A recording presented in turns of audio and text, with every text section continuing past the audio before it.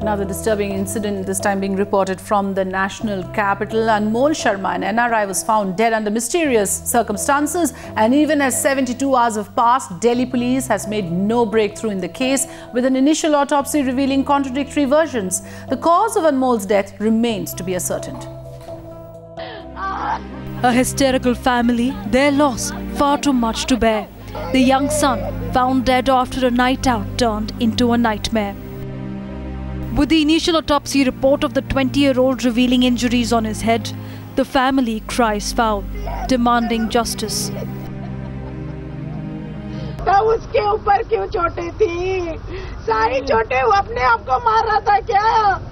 क्यों कह रहे हैं कि उसने अपने आप को मारा? कौन मारता है अपने आप को? वो हम जब वहाँ पहुँचे तो वो मरा पड़ा था वहाँ पे डेड पड़ा था और इतनी बुरी हालत थी कि ऐसे उसको मतलब घसीट घसीट के उसको मारा उसकी बॉडी की बहुत बुरी हालत थी खरोचे आई हुई थी सिर में उसके रॉड मारी है और प्लेट मारी है और मैंने जब उसके सिर के पीछे देखा तो ब्लड ही ब्लड था बस Anmol, an NRI, had come to the city for his vacation, but was found dead after an alleged altercation with friends at a party in South Delhi's Kalkaji area.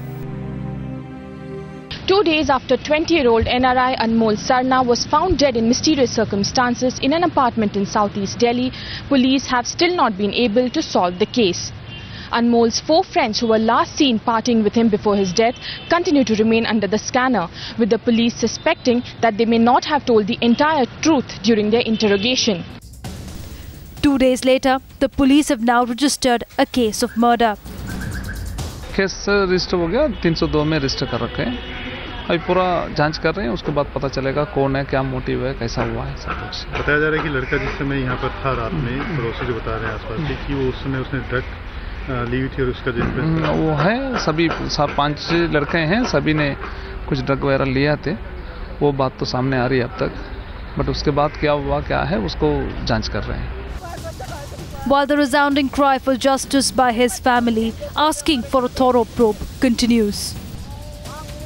India needs to show that justice can be done for people in our nation's capital. What led to Anmol's death?